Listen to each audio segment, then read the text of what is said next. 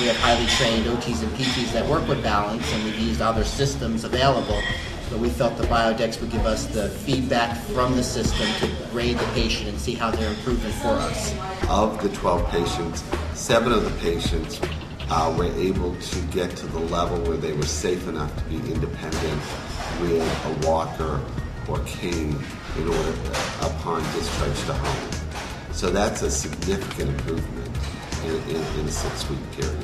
One patient who had a COPD, we were actually very successful with him because uh, when we came here, he had uh, we used um, the Hoyer lift as a transfer, but then after um, doing some exercises with the Biodex also and some balance activities, um, he was able to go home without any assistive device. So we had a lady who was in her upper 90s who was actually a, a Russian ballerina.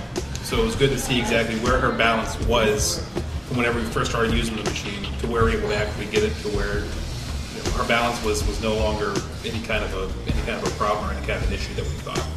We had the equipment come in here and they got very excited about it right away. They, they took to it fast, the OTs and the PTs. They learned it quickly, and when we came back to the facility to see if they were utilizing it with their patients, because again, we don't want it to be a coat hanger, we want it to be equipment utilized, they were there and they were utilizing Biodex. So we had a very good trial study with it over a 30-day period.